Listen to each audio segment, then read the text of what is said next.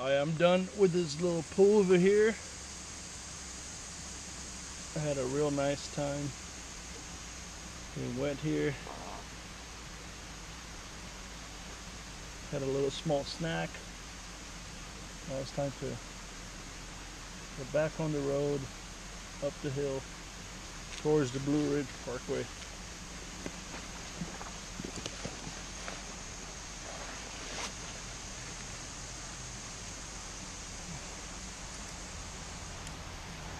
For me, getting ready to ride, for me, it's almost like a ritual.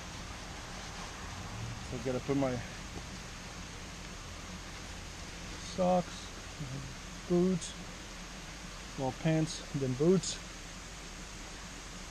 Put my jacket, zip my jacket to my pants, cinch my jacket, put on some earplugs because I always ride with earplugs. Then helmet, gloves.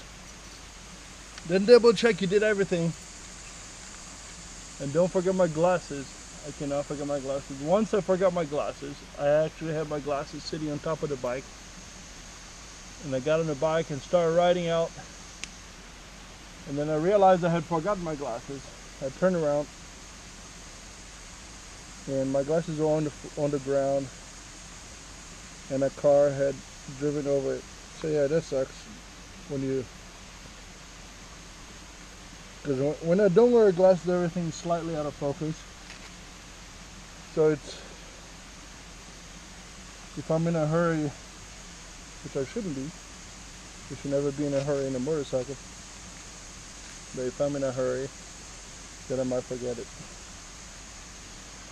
Anyway, now I'm all dressed up. Time to get on the bike and ride.